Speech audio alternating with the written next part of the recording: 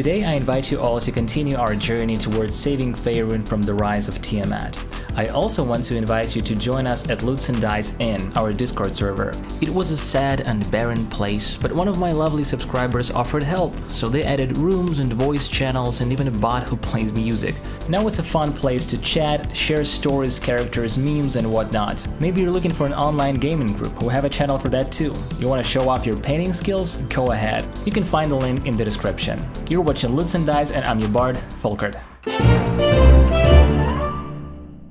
Even though it's a part of one campaign, in my opinion Rise of Tiamat is a slightly better book than the previous one, at least because it was a lot more fun to prepare and run. There is more freedom, more space for creativity, and separate chapters of this adventure can be easily pulled out and used in your own homebrew game, which I believe to be a really handy quality of a D&D product. The White Dragon Lair in the Sea of Moving Ice is a nicely detailed location that's going to be interesting to explore in any D&D context, as well as that of a green dragon in the Misty Forest. Tomb of Diderius feels like a classic location with mummies and yuan ti. To me it has strong Neverwinter Nights vibes. Xonthal's Tower was just a blast. To me it has something iconic to it, speaking of Dungeons & Dragons experience. So at least the locations and static content, so to speak, is great and fun. But regarding handling the overarching story as a DM, we're going to have a lot of work to do. Thankfully, the modular nature of the adventure does not stand in our way. From the moment that you pick up this book, I suggest that you perceive it as a very light guideline with a bunch of content to use. I really think it would be easier if you don't stick to the suggested timelines and faction scoreboard rules. Use it as well as the experience from running the previous book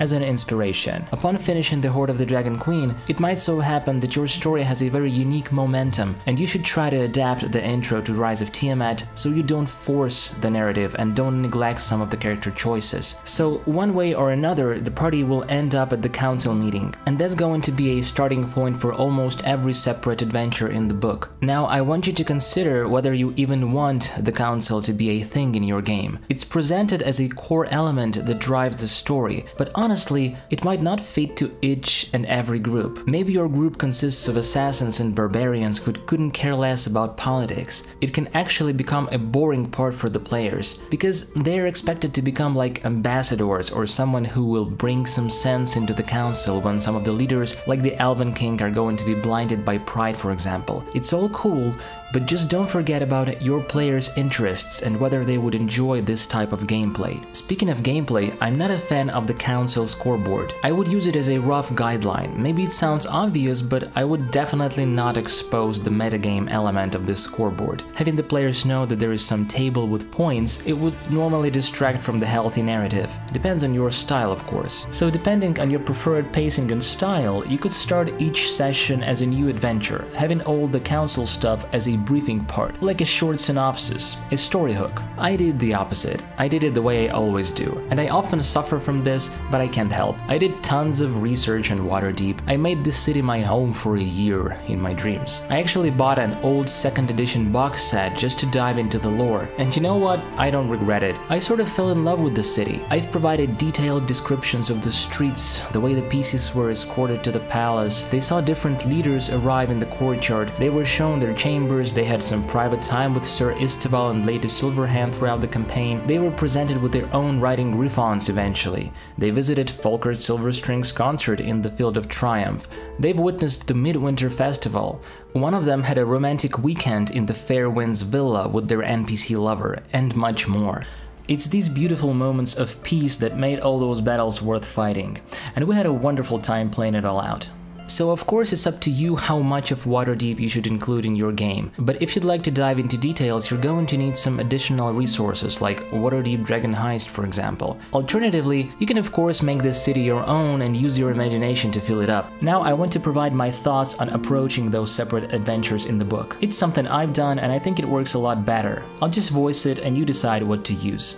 At some point, give your PCs opportunities to send out scouts, especially if they are harpers. This will make them feel less like errand boys for the lords and more like ace level heroes that can handle things. They might task a scout with finding a dragon mask or a cult leader, and you can adapt the result of this mission into a hook for another adventure. Advice number 2. Be sure to reflect the player's progress in the world. For instance, if their arcane brotherhood joins the war, show it. When the PCs return from another quest, tell them how the wizards of Luskan apply defensive spells on the walls. Same goes for every force that joins the fight. War camps growing under the city walls, training, marching, and so on. Perhaps another giant castle in the skies. Giants may be returning from a battle, dragging a dead body of a dragon behind. The dwarves might bring some artillery to the Waterdeep defenses. You get the idea. Point number 3 dragon masks. So I am very confused about the place of dragon masks in this story. Several adventures involve active search of a mask, and every time the players are left with nothing, they will spend one or two sessions hunting down a Wyrmspeaker, capture or kill him, fight a dragon, get some treasure, and then find out that it was a waste of time. And it happens three times. They go for Varram the White, he tells them that the mask is already at the Well of Dragons. Other than that, he's pretty useless. They go for Neronvain, no green dragon mask either.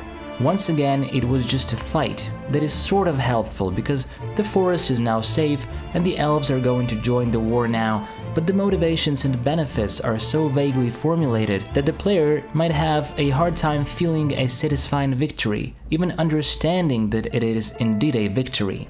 The third time they go for a blue dragon mask, and they get it. They are really happy now three times, and the third one is finally a win. And then they find out that the mask is a forgery I mean, come on, it's a straight up trolling. Who would enjoy that? And more than that, looking at the mechanics that the authors provide for the masks, I don't see any reason not to give a couple of masks to the players. It will assemble in a Super Dragon Queen mask if there are as many as two separate masks. The rules for weakening the Dragon Queen doesn't even state that the amount of masks has any importance at all. It's either the super mask is 100% complete or it's not. Correct me if I'm wrong, but if it's true, then this all doesn't even matter. The players already have one mask they got in Skyreach Castle, presumably. The super mask will already be incomplete. Any extra masks won't make any difference. They will just become handy magic items to give resistance and charisma advantage. I explained to my players that each missing mask will make Tiamat weaker upon arrival, and I've let them had two of those three masks. The white one got into the hands of the Zhentarim, and we had a nice session that I came up with. My players had to infiltrate a noble house, investigate, get themselves invited for a party, and steal the mask from a secret vault. It was super fun. The other one was the blue one, and I just ignored that it was a forgery. And eventually my players had some nice role-playing moments with chromatic dragons while wearing those masks tasks. Now speaking of that ritual, let's talk about sacrifices. One thing I did is I named a number, and I had reconnaissance keeping my players up to date as for how many prisoners the cult presumably has. I used it as a clock tool. I wanted my players to understand that the clock is ticking, but they're still in control of managing their time. They have time to gather forces and find another mask, and the prisoners will live until the moment the cult has enough of them, as well as enough treasure and all the masks they can lay their hands upon. Now this is information that players can operate with and make choices. They could try and assign military forces into a region to free a cluster of prisoners about to be escorted south, so that they can win some time. They can forge a fake mask themselves to screw with the cult somehow. I hope it makes sense. And this is going to be it for today. We're going to have a closer look at each of those separate locations in the following videos. Be sure to subscribe, hit the bell button, and check out my Patreon page so you can support the channel and get something cool in return. Thank you so much for watching and I'll see you in the next one.